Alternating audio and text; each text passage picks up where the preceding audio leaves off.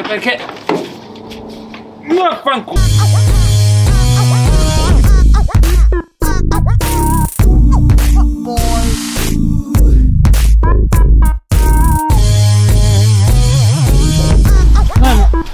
Bene amici, eccoci qui di nuovo insieme, prima puntata del nuovo anno del trattore del mese. Anno nuovo, trattore nuovo, vero Giamma? Beh Felice, dice anno nuovo, vita nuova. Di solito. Di solito. Però in questo caso, dai, diciamo trattore. Bene amici, oggi un marchio speciale con una bella storia dietro. Era parecchio che aspettavo di parlare. di Della Mercedes? Ma come della Che grande marchio, figlia della Mercedes. come Quello era bello, eh? come la Mercedes? Gran marchio tedesco, sì. Ma come Giamma, oggi parliamo della OM. che Eh, ma ho capito, ma c'è lo stemma della Mercedes. Questo sarà il primo trattore in collaborazione con la Mercedes, no? Ma secondo me il precedente proprietario si è solamente divertito. Comunque sicuramente sarebbe stato un bel trattore con un gran motore Ah, voglia, sicuro. Oggi parliamo dello Oh. M513R, macchina del 1961 ed è doveroso parlare anche un po' del marchio M, che giustamente viene associato alla Fiat Trattori, ma che ha tanto altro da raccontare.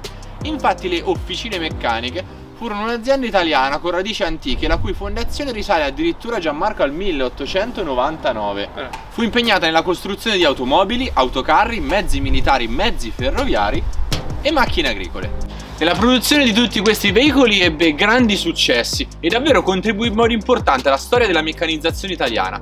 La Fiat Trattori ebbe un grosso colpo di fortuna, entrò in possesso del 50% delle azioni OM in seguito alla Grande Depressione. La Grande Depressione Gianmarco è del 1900? 93. No, 29. 29, spero che la tua vecchia maestra delle elementari non veda questo video. Inizialmente la sfruttò per i motori e per gli impianti produttivi. I primi trattori agricoli presentati con marchio M videro infatti la luce solo nel 1952. Il più famoso, il primo M, Gianmarco, il mitico Il 3540. il 3540 che ebbe molto successo con il suo motore diesel da 3770 cm3. Il nostro 513R nascerà circa 10 anni dopo e con i suoi 64 cavalli si dimostrerà un successo molto apprezzato. La OM scompare definitivamente dal mercato delle macchine agricole con l'ultimo modello che fu l'850. Ora Giamma parliamo per bene di questo 513 che ancora oggi come vedi si trova qui nel parco usato e che sicuramente troverà un altro proprietario che lo farà lavorare di nuovo. Sicuramente. Questo modello deriva principalmente dal 512R che uscì nel 1959, ma che fu prodotto per appena due anni. La linea estetica risultava infatti vecchia, a fronte però di una meccanica validissima. La OM fece uscire quindi il 513R con una linea inedita e fu subito successo per prestazioni e robustezza. A testimonianza di questo lo ritroveremo nel 1966 pure nella nuovissima serie Diamante della Fiat con il nome 615, segno che questo trattore fu apprezzato per tutti gli anni 60. Giamma, a prima vista come ti sembra questo mezzo? Ah, oh Filippo, mi sembra una macchina robusta, certo. Però ho una domanda Filippo, ma questo qui come telaio portante, motore portante, come... Vieni giù che te lo spiego. Vai. Allora, quasi Giamma, è un semitelaio perimetrale che supporta il motore e che conferisce grande robustezza in effetti al mezzo. A proposito del motore, è un grande classico della produzione OM, 4 cilindri in linea, albero motore su 5 supporti, basamento e testa in ghisa, con coperchio valvole in alluminio, pompa dell'acqua centrifuga abbinata alla ventola radiatore e azionata con cinghia, filtro aria a bagno d'olio e prefiltro centrifugo a ciclone, avviamento, come hai visto, con motorino elettrico. Facci sentire sto motore, Giamma. Vai.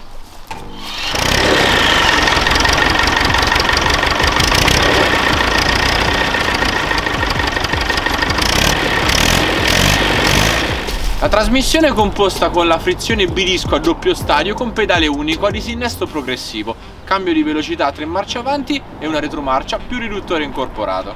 A richiesta era disponibile il dispositivo automatico d'emergenza Automatic, armabile a mano e azionato attraverso il pedale.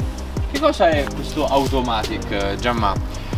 Forse molti di voi lo conoscono e altri no, è una delle prime automazioni meccaniche proposte da Fiat OM. Il 513R infatti veniva venduto come dotato di mezza marcia innestabile sotto carico o a livello commerciale chiamata automatic, ma in realtà più tecnicamente era definibile riduttore automatico d'emergenza.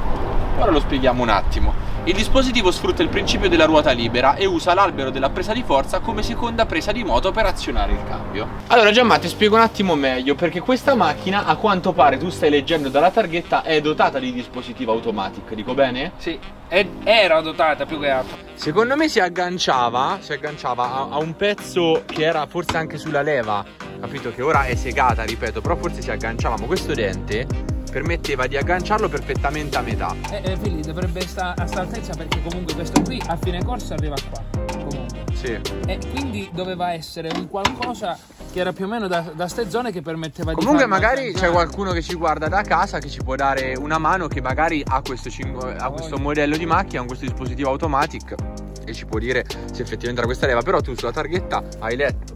Eh sì, mo qui sulla targhetta, vabbè, a parte queste qua sono le mm, diciamo è il disegnino che ti spiega come funziona il cambio e questo qui è eh, la leva per metterla ridotta a folle o la marcia normale. Però questo qui è proprio quello che dicevi tu. Vedi? Riduttore d'emergenza, vabbè, non si legge con un po' sporco e fa vedere questa leva lunghissima che va innestato nella posizione 2, da posizione 1 di disinnesto a posizione 2 di innesto. discorso di armarla. Oh, e qualche parola non si legge, ma c'è scritto che dopo essere portata nella posizione 2 la coppia motrice aumenta del 50% e la velocità si riduce. E questo aiutava negli impegni gravosi di cui ti parlavo, capito? O a- aumenta la coppia motrice, di conseguenza è normale che la macchina tira più. Perché adesso Oh, mi sa che la leva La l'hanno leva- levata del tutto. Esatto, la leva è stata segata. Mm. Ti spiego perché questo gesto che può sembrare un po' particolare. Con l'automatic inserito per effetto della ruota libera di cui ti parlavo non si poteva usufruire del freno motore e nelle discese il trattore si comportava potenzialmente come una bicicletta, raggiungendo velocità pericolose. Da questo il motivo forse perché questo proprietario, il precedente proprietario e molti altri hanno addirittura segato la leva dell'automatic. Sì. Apprezziamo la volontà della OM Fiat di automatizzare alcuni procedimenti, cosa non scontata per un mezzo di inizio anni 60. Cosa notevole per una macchina di quest'epoca Giamma è la strumentazione del cruscotto, facci caso. Quadro a corpo unico, retroilluminato di ottima fattura e da notare, Gianmarco, lusso dei lussi per allora, lo strumento elettrico di indicatore del livello del serbatoio gasolio. Cioè pensa che c'era uno strumento elettrico all'interno del serbatoio del gasolio Sì. di questa macchina Sì, sì. che indicava il livello.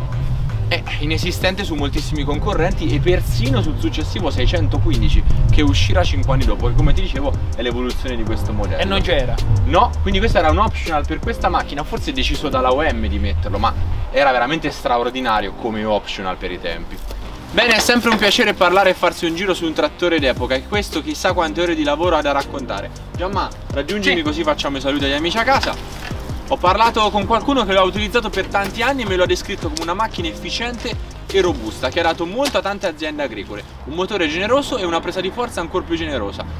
Ma vogliamo fare come per il 180-55 che gli cambiamo logo e ci mettiamo quello della M? Che vogliamo fare Giamma? No, no, Fili, che così mantiene qualche cavallo in più. Eh, giusto, il simbolo Mercedes.